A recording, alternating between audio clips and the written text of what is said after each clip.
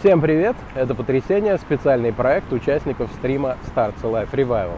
Каждую неделю, если только это не праздники, мы рассказываем вам о том, что нас потрясло, удивило, ну или хотя бы обратило на себя внимание в сфере хай-тек, кино и компьютерных игр.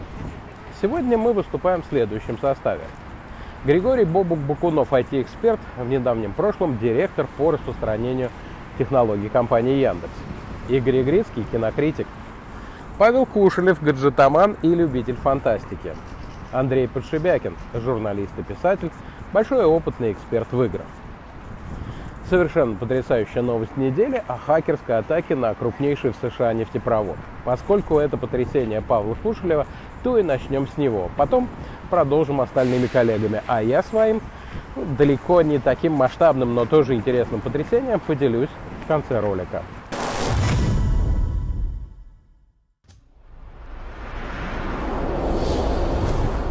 Качестве потрясения расскажу о кибератаке на компанию Colonial Pipeline, которая снабжает топливом половину восточного побережья Америки, ну, то есть Атлантического. Там, где Бостон, Нью-Йорк, Флорида. И удивил меня не масштаб атаки. Американцы, понятное дело, кричат про руку Кремля и нападение на критическую инфраструктуру. Там же теперь нехватка бензина. Цены растут. Потрясла меня инфраструктура, если можно так сказать, хакерская. То, как этот бизнес устроен – прошлом году только американские компании заплатили операторам вирусов-шифровальщиков что-то вроде 7,5 миллиардов долларов. То есть это огромадный бизнес, и занимаются им, понятное дело, не одиночки. Еще несколько лет назад русскоязычные хакеры, они главные на этом рынке, начали делать платформы RSAS, вымогательство как сервис. Разрабы пилят инструменты для шифрования, выкачивания данных, общения с клиентом – ну, так они называют, собственно говоря, атакованных, и системы приема оплаты. Скоринг у них там есть, оценка того, насколько платежеспособна компания и стоит ли туда лезть, сколько денег, собственно, требуют. Менеджеры таких платформ подбирают партнеров, которые будут, собственно, атаковать, чтобы были не безбашенные, умненькие, без ухорства. Платформа DarkSide, с которой ломанули американских топливников, пошла даже дальше. У них есть корпоративные скрепы, правила.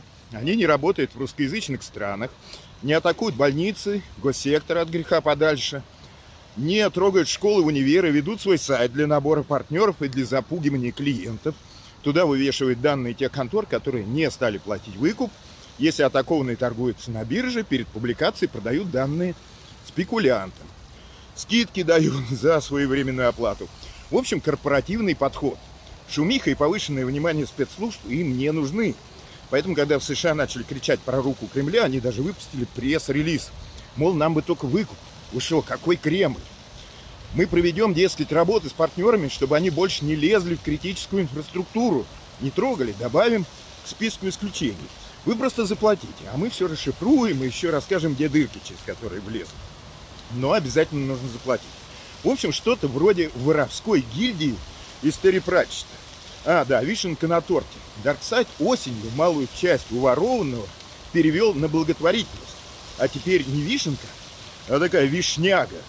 Брайан Креп, самый авторитетный, наверное, блогер в инфобезе, советует в Твиттере, как отвести от себя напасть, отвадить русских хакеров. Поставьте, говорит себе, в систему русскую клавиатуру. Дарксайд, мол, и большинство таких же платформ, вымогателей, такие компы обходят стороной. Ну, не знаю. Говорят, иногда и правда работает.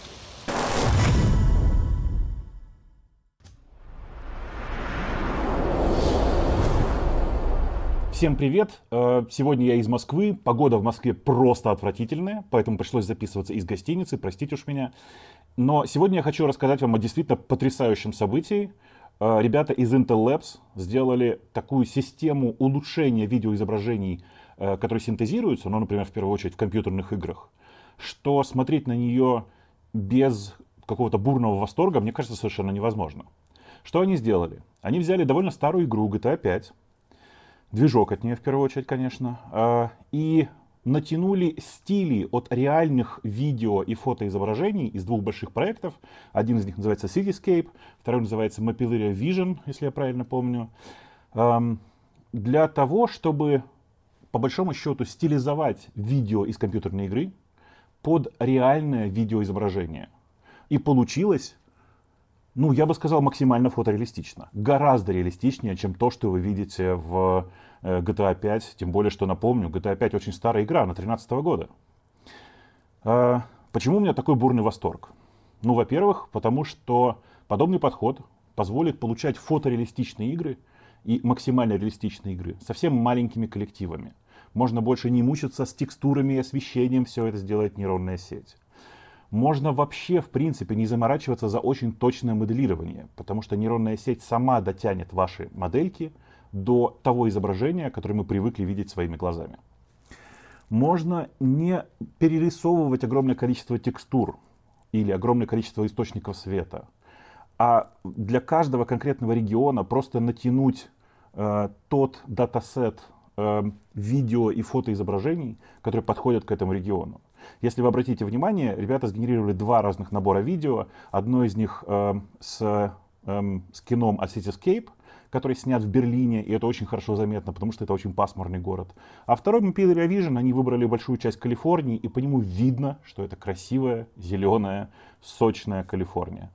Я в полном восторге, я надеюсь, что и вы тоже будете в полном восторге, а через 2-3 года, ну может быть через 4 хорошо, все эти технологии мы, видим, мы увидим уже в реальных играх. И, конечно, я просто жду того момента, когда этим всем можно будет насладиться. Э, до этого нас ждет утомительный процесс создания датасетов. Потому что те датасеты, которые взяли ребята, они, конечно, далеки от совершенства. Один из них создан, собран на мобильных телефонах и, конечно, не, просто не очень высокого качества. А второй Cityscape создан одной конкретной компанией, в первую очередь Mercedes. И по этой причине на некоторых видео, на некоторых кадрах заметен маленький логотипчик Mercedes. Дело в том, что э, Cityscape собирали свой датасет прямо из э, автомобиля с помощью специальных камер, установленных в нем. И просто логотип Mercedes иногда отражался в стекле, в капоте, еще в чем-то. В общем, конечно, все это не пока не, не настоящее решение. Но мы их очень ждем, и я уверен, прямо это будущее будет прямо потрясающим.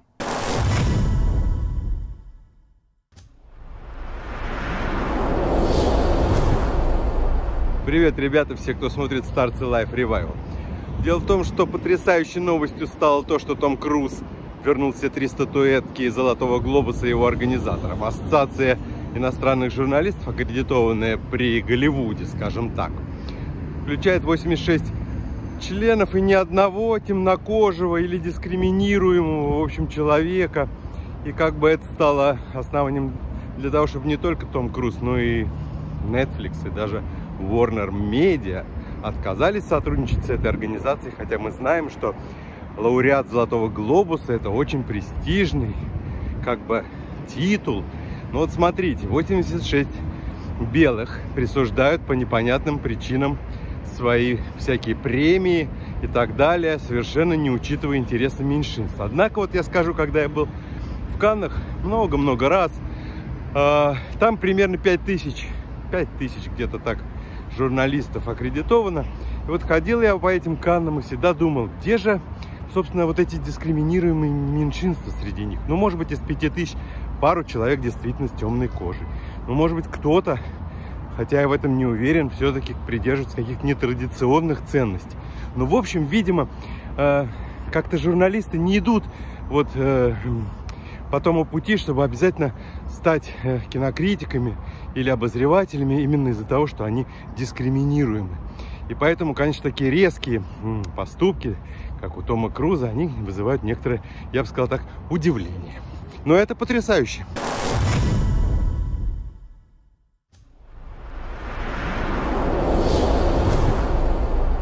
Здравствуйте, дорогие телезрители. Меня зовут Андрей Подшибякин по-прежнему. Я разговариваю с вами из города Пермь. Вон там набережная реки Камы. Прекрасное утро сегодня. Что меня потрясло за отчетный период? А, ну, наверное, там несколько вещей, но остановимся на следующем, что как стало известно буквально вчера, новые Gears и новый Fable будут делаться на технологии Unreal 5, и их разработчики специально попросили подождать, и никаких анонсов в ближайшее время от них не ждать. Это значит, что соответствующих игр мы с вами от них не увидим еще, ну, я думаю, год-два так даже, наверное, потому что Unreal 5 разработчикам еще в руки не выдают, насколько я знаю, и когда это произойдет, неизвестно. Но, в общем, я в таком потрясенном и джетлаговом состоянии буду все равно этих игр очень ждать. Ну, вот и мой черед. Я большой поклонник приложения Clubhouse, которое в начале года как метеор ворвалось в нашу жизнь. Э, впрочем, почти так же быстро из нее практически исчезла. Клабхаус в России, что называется, сдулся. Комнаты теперь собирают не по несколько тысяч, а всего по несколько десятков человек. А уж людей известных и интересных, которых раньше можно было встретить чуть ли не в каждом обсуждении, теперь буквально днем с огнем. И одну из причин называют платформенную ограниченность. Clubhouse уж очень не торопился выйти на Android, а с одними айфонами большую аудиторию в нашей стране не соберешь. И вот, наконец, на днях Clubhouse сообщил, что выходит и на Android. Правда, пока только в США. Оживит ли это интерес к некогда самому модному приложению? К моему огромному сожалению, вряд ли. Момент упущен, хайп прошел, возродить его снова даже непонятно как. В США, где эта проблема стоит не так остро, будут денежно стимулировать авторов лучших шоу. Российский рынок для Clubhouse небольшой, вряд ли он будет еще и в него таким образом вкладываться. Появятся ли здешние игроки, которые увидят для себя перспективы в этой аудиосоцсети, тоже не очень верится. А жалко, возможно, не мне говорить, но с разговорным радио в России довольно скверно. И подобный сервис мог бы составить достойную конкуренцию.